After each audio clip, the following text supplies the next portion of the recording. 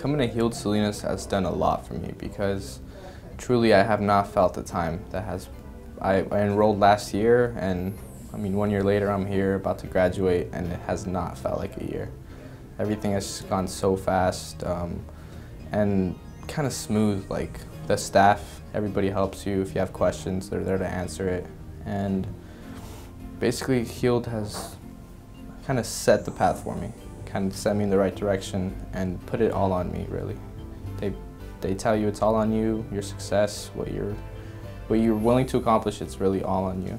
And I feel like I've proven that because I've done good in all my classes, haven't failed any, stay on, stood on, stayed on track, and now I'm here, you know, ready to walk across the stage, and I feel good, I feel proud. And I feel they have contributed because they've given me the tools, the confidence.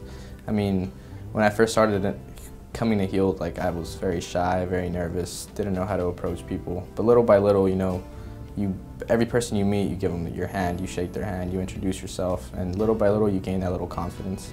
And that's what that's what Heald has given me.